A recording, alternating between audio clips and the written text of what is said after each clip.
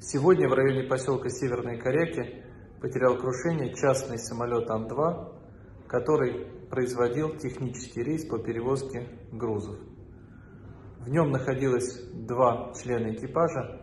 По предварительной информации от МЧС, они погибли при падении самолета и пожаре.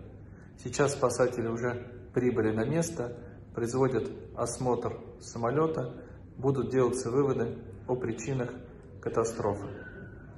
Я поручил ответственному заместителю председателя правительства Роману Сергеевичу Василевскому также выдвинуться на место и скоординировать всю необходимую работу.